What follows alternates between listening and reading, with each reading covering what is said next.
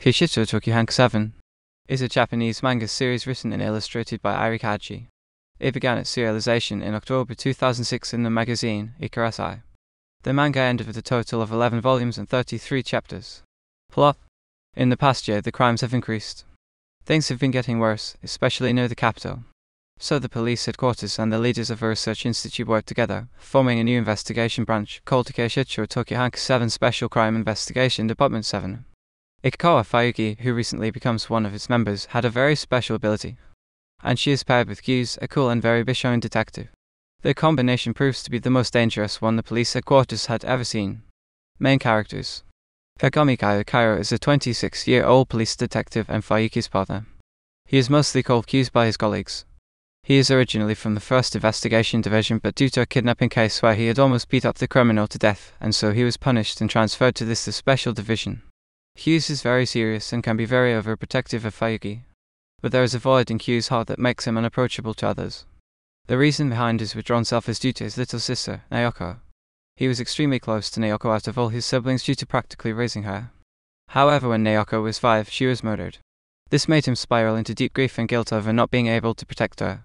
After meeting Fayuki, he slowly opens his closed off heart to her. And as the series progresses, he falls in love with her. Ikikawa Fayuki is a beautiful 17-year-old girl with special abilities. Fayuki was sent from the Ikikawa Institute to join K7 where she is partnered with Hughes. Even though she is 17, she is very mature for her age and is never phased when seeing a murder victim's body.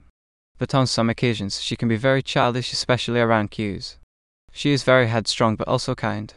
Fayuki has proven to possess telepathy, which proved useful due to finding out a murder victim's last memories.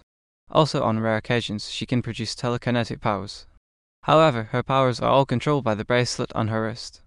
Despite their age gap, Fayuki understands Hughes the most and is closest to him. She cares deeply about Hughes.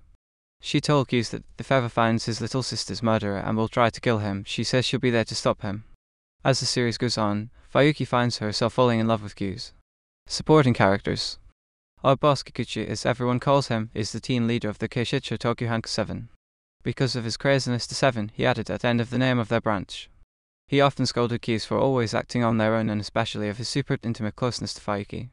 He is a colleague and friend of Hughes, they were both came from the first division. He is now everyone's assistant.